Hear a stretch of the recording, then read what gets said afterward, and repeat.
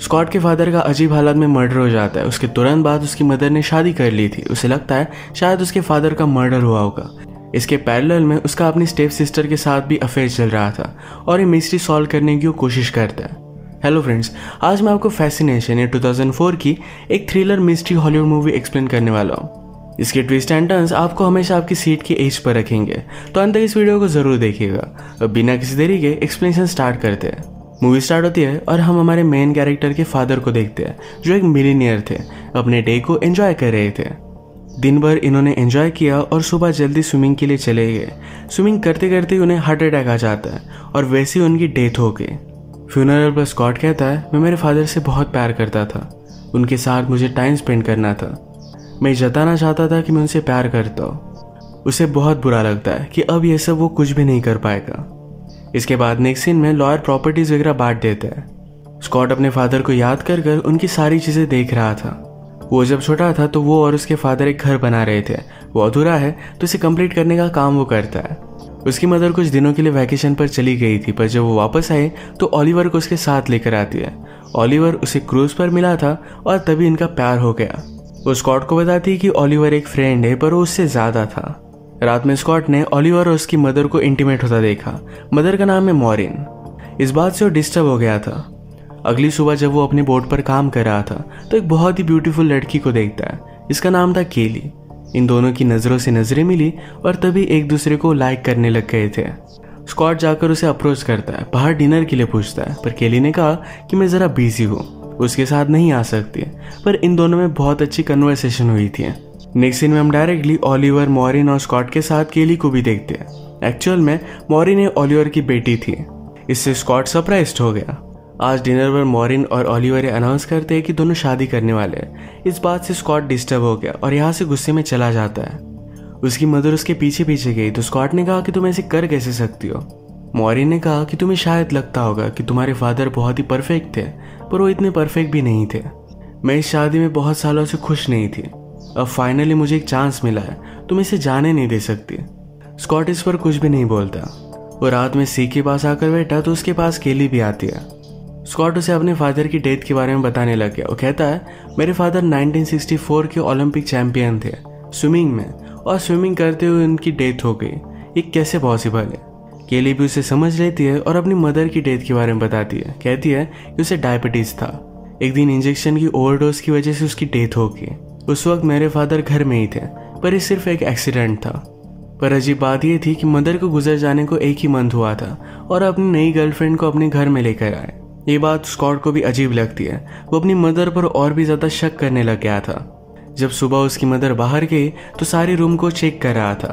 केली देखकर उसके पास आई कहा कि ये सब करना बंद कर दो। तुम्हें अपनी मदर पर शक नहीं करना चाहिए। मैंने भी मेरे फादर को बहुत ब्लेम किया था, पर जो भी हुआ, वो सिर्फ़ एक एक्सीडेंट था। नेक्स्ट सीन में हम देखते हैं कि स्कॉट जिस घर पर काम कर रहा था, वो देखने के लिए उसकी मदर और ओलिवर आए। ओलिवर कहता है, यहाँ पर जगह तो बहुत ही अच्छी है। यहाँ पर डेवलपमेंट होनी चाहिए। स्कॉट कहता है कि मेरे फादर को यहाँ पर कुछ भी चीज़ें कमर्शियल नहीं करनी थी, और वैसे ही ये सब चीज़ें रहेगी। नई सीन में स्कॉट और केली जब अकेले थे तो घर वो क्यों बिल्ड कर रहा है, इसके बारे में उसे बताता है। अपने फादर को बहुत मिस करता है। इसके बाद नेक्स्ट सीन में हम डायरेक्टली ओलिवर और मॉरिन इन दोनों की शादी देखते हैं। इससे स्कॉट बाहर निकल आया। उसके पीछे पीछे केली भी आती है। वो उसे किस करने लगी। कहती है, इससे तुम्हें अच्छा लगेगा। यही पर इंटीमेट हो जाते हैं। रात में दोनों एक पार्टी में आए, जहाँ पर केली से एक आदमी बदतमीजी करता है तो उसे वो बाइट कर लेती है। केली के साथ अगर कोई गलत करे तो उसे जाने नहीं दे सकती। अब थोड़े दिन बीत गए और ये हमेशा एक दूसरे के साथ ही टाइम स्पेंड करते थे। एक रात अचानक से केली के चेस्ट में पेन हुआ। स्कॉट उसे हॉस्पिटल में लेकर जाता है। डॉक्टर से इन्हें पता चला कि कुछ पिल्स लेने की वजह से हुआ है। केली को ऑलरेडी ब्लड प्रेशर था। उसमें उसने गोली ली जो मॉरिन ने उसे दी थी। ये बात सुनकर स्कॉट को एक बात क्लिक हुई कि अगर उसके फादर ने भी यही गोली ली होगी तो शायद इस वजह से उन्हें हार्ट अटैक आ सकता है। उसने अपने फादर की चीज़ों में सेम गोली देखी हुई थी। इसमें इन्वेस्टिगेशन करने के बाद उसे पता चला कि एक हर्बल गोली है। यह आसानी से उसकी मदर को मिल सकती है। और उसे एविडेंस की ज़रूरत थी कि एक्चुअल में उसके फादर ने गोली ली थी तो अपने लॉयर फ्रेंड को कॉल करता है। उसने कहा कि मेरे फादर की ग्रेव को हम डिक करेंगे, और उससे तुम टॉक्सिकोलॉजी रिपोर्ट निकालना। पहले तो लॉयर फ्रेंड इसके लिए मना कर रहा था, पर रात में जाकर बॉडी को निकाल लाते हैं। स्कॉट की मदर के बाहर जाने के बाद उसका पूरा रूम वो देख रहा था। इसमें उसे कुछ फ़ोटोज़ मिली। फ़ोटोज़ देखती है तो बैकग्राउंड में उसके फादर का होटल था। स्कॉट फिगर आउट करता है कि जब उसके फादर ज़िंदा थे, तभी से उसके मदर का ऑलिवर के साथ अफेयर है। इस बात से वो बहुत ज़्यादा गुस्सा हो गया।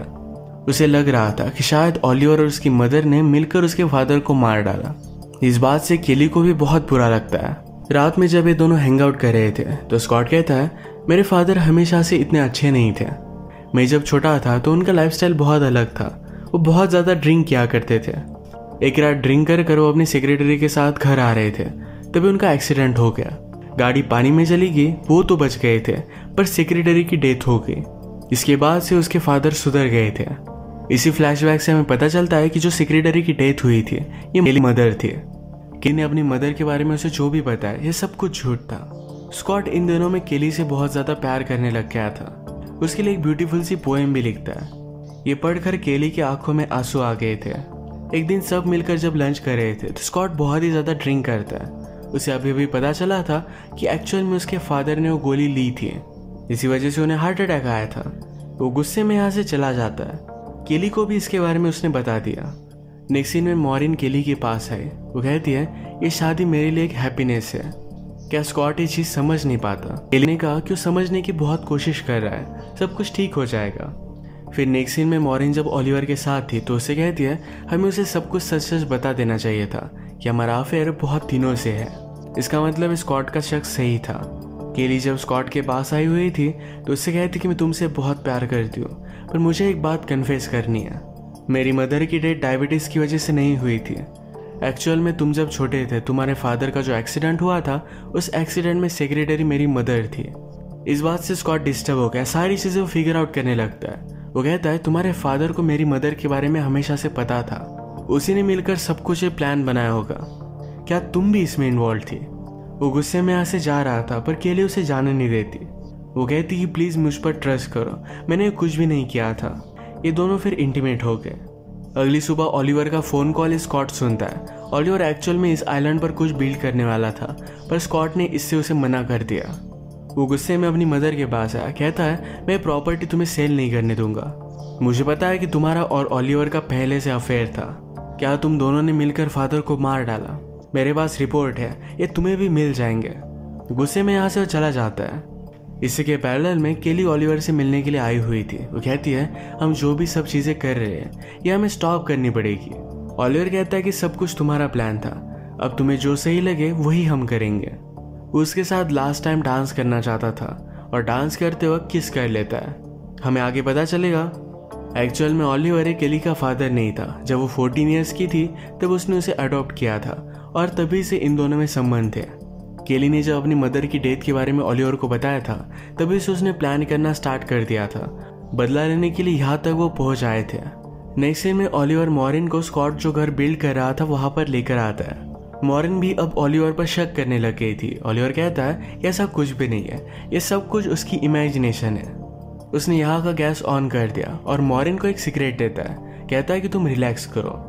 और वो फिर बाथरूम में चला गया। वो बाथरूम की खिड़की से निकल जाता और मॉरिन की डेथ हो जाती है, पर एक खिड़की खुलती ही नहीं। एक बहुत बड़ा ब्लास्ट हुआ। स्कॉट और केली इन दोनों को हॉस्पिटल में बुलाया जाता है। केली बहुत फास्ट ड्राइव कर हॉस्पिटल में आ रही थी तो उसे ट्रैफ़िक का टिकट मिल जाता है। हॉस्पिटल में आने के बाद ओलिवर बहुत ज़्यादा जख्मी था। वो उसे कहती कि तुम्हें ये सब करना नहीं चाहिए था। मैंने तुम्हें पहले रुकने के लिए कहा था। गुस्से में उसने ओलिवर का ऑक्सीजन मास्क निकाल लिया। तभी यहाँ पर स्कॉट भी पहुँचा हुआ था। उसे पता चलता है कि उसकी मदर की डेथ हो चुकी है। वो जब ओलिवर के पास आया तो उसका मास्क देखता है। ओलिवर का मास्क उसके हाथ में था। सबको लगता है कि स्कॉट ने ओलिवर को मार डाला। स्कॉट डर गया और वहाँ से भागने की कोशिश करता है, पर पुलिस उसे पकड़ लेते हैं। सारी चीज़ों के लिए पुलिस उसे ही ब्लेम कर रहे थे, क्योंकि जो एक्सप्लोड हुआ, वो उसका ही घर था। मदर के गुजर जाने के बाद सारी प्रॉपर्टी उसे ही मिलने वाली थी। स्कॉट के लॉयर के आ जाने के बाद सब कुछ सच सच वो पुलिस को बताने की कोशिश करता है, पर वो मान नहीं रहे थे। तो तभी वहाँ पर केली आ गई। केली पुलिस को बताती है कि हॉस्पिटल में मैं भी थी। स्कॉट जब वहाँ पर पहुँचा तो ऑलिवर की पहले ही डेथ हो चुकी थी। केली पुलिस को बताती है कि सारा प्लान ऑलिवर का था। वो पूरी प्रॉपर्टी अपने लिए चाहता था। पुलिस फिर लॉयर से बात करते हैं और स्कॉट को छोड़ दिया जाता है। स्कॉट और केली जब घर पर आ रहे थे तो स्कॉट उसे कहता है तुमने आज तक मुझे जो भी पता है, मैं किसी भी चीज़ पर बिलीव नहीं कर सकता, क्योंकि सब कुछ झूठ हो सकती है। केली कहती कि मैं तुमसे बहुत ज़्यादा प्यार करती हूँ। मैंने तुम्हें अब सब कुछ सच सच बता दिया है।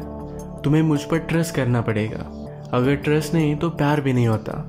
स्कॉट मानने के लिए रेडी नहीं था तो चलती गाड़ी से केली कूदने लग गई। स्कॉट उसे बचा लेता है, पर बचाने में गाड़ी का इनका एक्सीडेंट हो गया। इसमें स्कॉट को ज़रा इंजरी आई। केली उसे गाड़ी से बाहर निकालती है कहती है, प्लीज़ मुझे माफ़ कर दो। मैं तुमसे बहुत प्यार करती हूँ। स्कॉट भी अब उसे माफ़ कर देता है। इसी के साथ ये मूवी एंड हो जाती है। केली पहले तो रिमेज लेना चाहती थी, पर जब उसे स्कॉट से प्यार हुआ, तब अपना माइंड वो चेंज कर लेती है। पर तब तक ओलिवर बहुत आगे चला गया था। ओलिवर को उसकी की की सज़ा भुगतनी पड़ी, और इसी के साथ आज का वीडियो हम ख़त्म करते हैं। अगर आपको वीडियो अच्छा लगता है तो प्लीज़ इस लाइक और कमेंट ज़रूर कर दीजिएगा।